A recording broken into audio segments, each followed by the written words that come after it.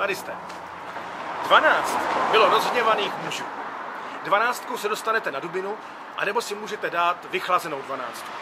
Ovšem dvanáctka je také název nové komorní scény Národního divadla Moravskosleského. A my si teď právě názorně předvedeme, jak se tam dostat. 11, 12. Tak, je to sem? No výborně, předprodej, jdu si koupit vstupenku. Přesně po 12 krocích od hlavního vstupu do divadla Jiřího Mirona. Jdete se mnou? Vstupenku už máme a teď uděláme 12 kroků směrem k hlavnímu vchodu divadla 12.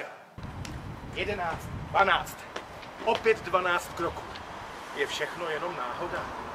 Stojíme před hlavním vchodem do divadla 12. Ale já bych vám doporučil raději se posunout trochu doleva a jít přes bar ve 12. Ve 12. se můžete osvěžit 12. Jenom dávejte pozor, aby těch 12 nebylo 12, abyste z toho divadla něco měli.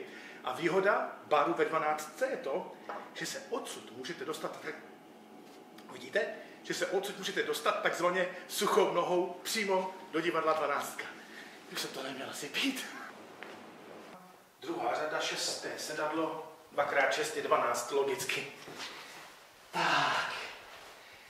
Tak tohle je ta naše slavná dvanáctka, kde pro vás na malém jevišti hrajeme velké divadlo.